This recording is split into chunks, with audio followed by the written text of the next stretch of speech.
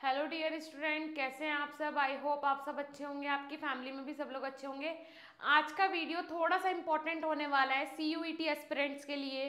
जिन student ने B pharm में admission लेने के लिए सी यू ई टी का एग्ज़ाम दिया है काउंसलिंग में पार्टिसिपेट किया है, लेकिन काउंसलिंग में पार्टिसिपेट करने के बाद भी वो कॉलेज में एडमिशन नहीं ले पा रहे हैं। एवरीथिंग आज इसके इस वीडियो में डिस्कस करेंगे सारी चीज़ों के बारे में। सबसे पहले तो स्वागत है आप सभी का हमारे YouTube channel S B pharmacy पे। बहुत बहुत स्वागत है आप सभी का। मैं साक्षी राजपूत।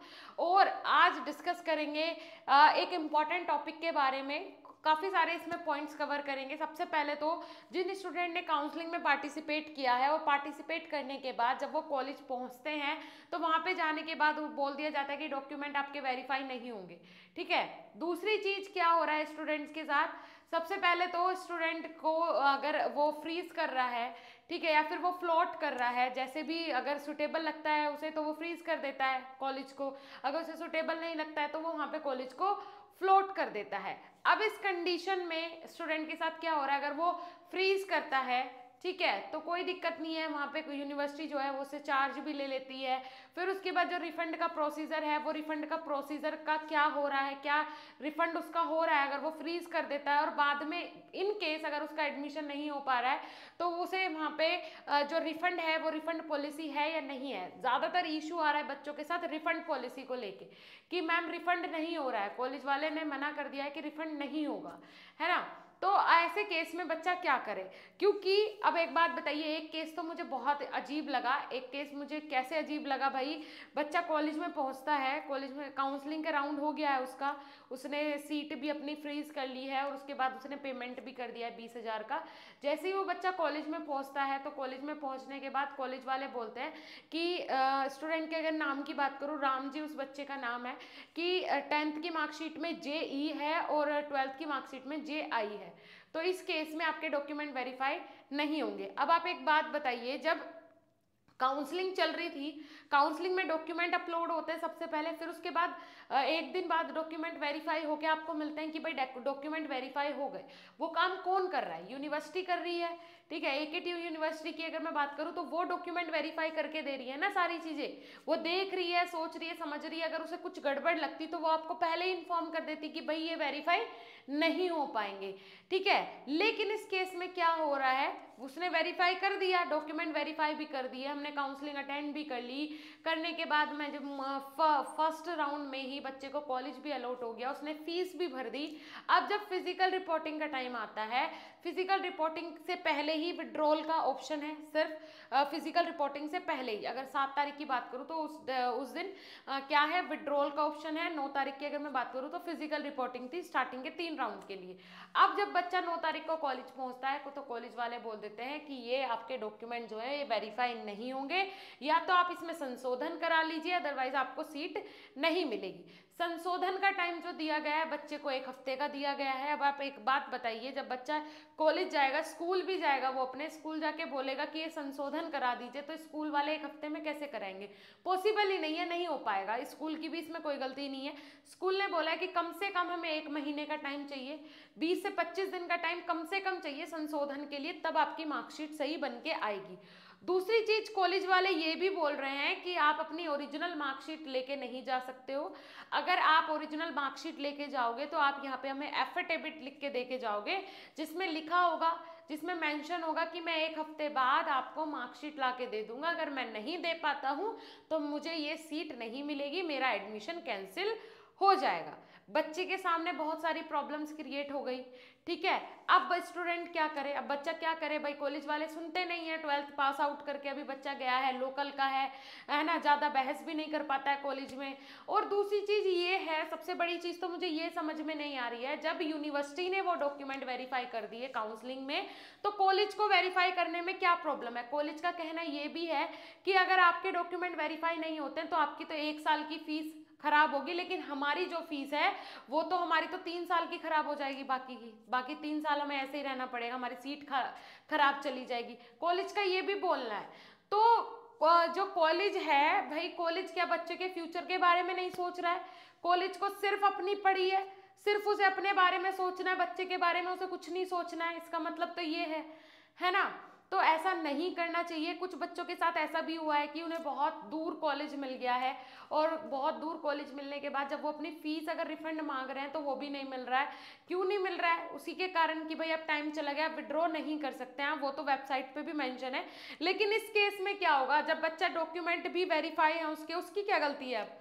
उसने तो वेरीफाई पहले भी करवाए हैं, वहाँ हो गए हैं कॉलेज में जाता है विड्रॉ का ऑप्शन पहले है, लेकिन उसे विड्रॉ करवाना ही नहीं था।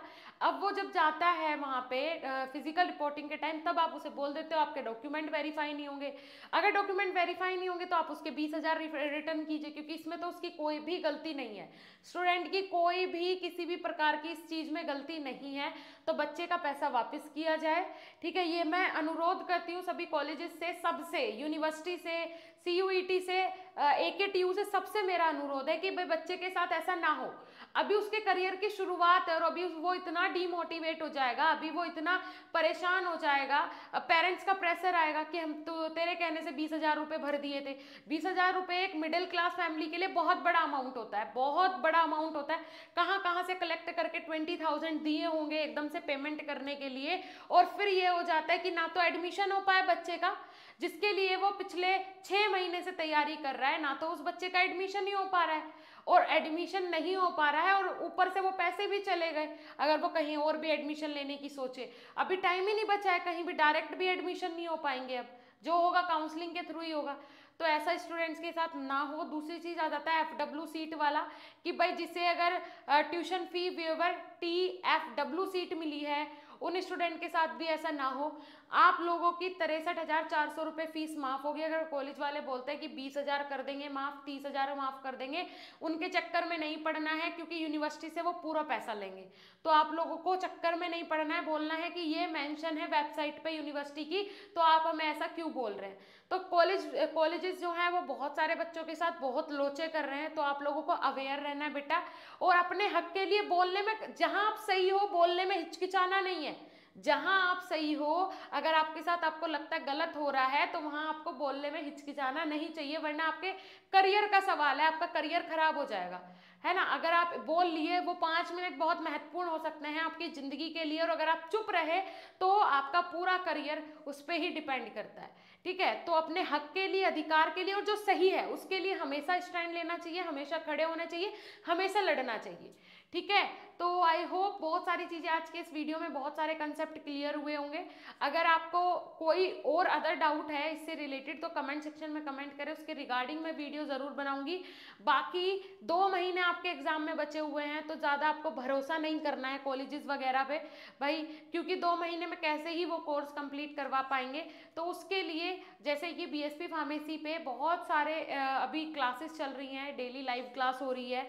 ठीक है? मैं कॉलेजेस की सारे कॉलेजेस की भी नहीं गलती बताती हूँ, लेकिन हाँ ऐसा बच्चों के साथ नहीं करना चाहिए, हर्ट होता है, ठीक है? जब मुझे इतना बुरा लगता है बच्चों की बात सुन के तो उनके पेरेंट्स को कैसा लगता होगा, खुद बच्चे को कैसा लगता होगा, ये सोचिए आप। तो मैं वही बोलना चाहती हूँ कि एप्लीकेशन पे डेली लाइव क्लासेस हो रही हैं, आपके पूरा सिलेबस कंप्लीट कराया जा रहा है एग्ज़ाम की पूरी तैयारी कराई जाएगी। आपको आज के लिए नहीं, चार साल बाद के लिए भी हम तैयार करेंगे। तो जाके एक बार विज़िट करें, ठीक है? Six hundred plus student join है हमारे फ़र्स्ट सेमेस्टर के कोर्स में और ये बहुत बड़ी अपॉर्चुनिटी है हमारे लिए बीएसपी फार्मेसी के लिए। बी फार्म मतलब बीएसपी फार्मेसी ये सिद्ध करने के लिए मैं पूरा प्रयत्न कर रही हूँ। मेरी पूरी टीम बहुत कोशिश कर रही है, मेरे टीचर्स बहुत मेहनत कर रहे हैं। सो so, प्लीज़ बस अब ज़रूरत है आप लोगों के साथ की आप लोगों के सपोर्ट की। 600 बच्चे जो कि मेरे लिए एक बहुत बड़ा अमाउ मतलब क्वांटिटी है स्टूडेंट्स की कि 600 स्टूडेंट्स मेरे यहाँ पे आ, मुझे बिलीव करके हमारे ऑनलाइन कोर्स में है फ़र्स्ट सेमेस्टर के कोर्स में ज्वाइन है। तो ये एक बहुत ही खुशी की बात है मेरे लिए। तो देखिए मैं आपके सामने भी आज बोल रही हूँ बहुत ही खुशी की बात है। और साथ ही साथ अभी चिल्ड्रंस डे जैसे कि चिल्ड्रंस डे आ रहा है, चौदह नवंबर आप लोगों का दिन है और हमारे लिए बहुत ही महत्वपूर्ण दिन है क्योंकि हमारे स्टूडेंट्स का वो दिन होता है। तो आप लोगों के लिए इस बार मैंने कुछ स्पेशल सोचा है। मैंने सोचा है जो भी स्टूडेंट हमारा मास्टर कोर्स लेगा या कोई भी फ़िज़िकल डिलीवरी वाला कोर्स लेता है, जैसे कि जिसमें कि होम डिलीवरी नोट्स आपको मिले, आपके घर हमारी तरफ़ से कुछ जाए, जो भी स्टूडेंट वो कोर्स खरीदेगा, जब आपका पार्सल आपके घर पे पहुंचेगा तो उस पार्सल के अंदर आपके लिए निकलेगा एक स्पेशल कूपन वो कूपन सौ रुपए से लेके तीन हज़ार तक का हो सकता है। तो आपके लिए बहुत बेनिफिशियल होने वाला और इस बार का जो ऑफ़र है, इस बार का जो ये मैंने निकाला है आप लोगों के लिए, एक सरप्राइजिंग गिफ्ट की तरह ही होगा कि भाई आपके घर पे जो जाएगा पार्सल हमारी साइड से, उसमें सौ से लेके तीन हज़ार तक का कोई भी वाउचर निकल सकता है, कोई भी कूपन निकल सकता है। मतलब आपको तीन हज़ार तक का भी फ़ायदा हो सकता है। क्योंकि भाई चिल्ड्रन डे है, बहुत बड़ा दिन है। सारे त्योहारों से बड़ा दिन है, क्योंकि ये हमारे स्टूडेंट का दिन है। तो आप लोग जाइए विज़िट कीजिए बीएसपी फार्मेसी ऐप जितना ज़्यादा से ज़्यादा क्वांटिटी में हो सके कोर्सेज में ज्वाइन कीजिए। ये जो कूपन्स हैं, ये लिमिटेड हैं। 200 ओनली कूपन्स अवेलेबल है। जैसे ही मेरा ये वीडियो पब्लिक होगा, ये कूपन जो भी स्टूडेंट पार्सल मतलब मंगवाएगा अपने घर, चाहे वो आप 2100 वाला कोर्स लो, आप 1500 वाला कोर्स लो, या फिर आप चौबीस वाला थर्ड सेमेस्टर का कोर्स लो, जो भी कोर्स आप लेते हो, जिसमें कि घर पे नोट्स जाए। ऐसा आपको कोई कोर्स लेना है जिसपे घर पे नोट्स जाएँ तो उस कोर्स के अंदर आपको अपने पार्सल के अंदर देखने को मिलेगा ये कूपन, ये सरप्राइजिंग कूपन। ध्यान से सुनना मैं क्या बोल रही हूँ। घर पे जब पहुँच जाएँगे नोट्स, तब वो सरप्राइजिंग कूपन आपको मिलेगा। उसके बाद वो कैसे विड्रॉ करना है, क्या सारी चीज़ें वो उसी पे मेंशन होगा। ठीक है, डियर स्टूडेंट? तो कुछ स्टूडेंट के घर तो पहुँच भी गए, सरप्राइजिंग कूपन जैसे ही उनके पास पहुँच जाएगा पार्सल तो मैं वो वीडियो भी आपके साथ ज़रूर शेयर करूँगी, ज़रूर रिवील करूँगी 14 नवंबर से पहले ही। ओके, डियर स्टूडेंट, मिलेंगे देन नेक्स्ट इन्फॉर्मेटिव वीडियो के साथ तब तक के लिए धन्यवाद। नमस्कार।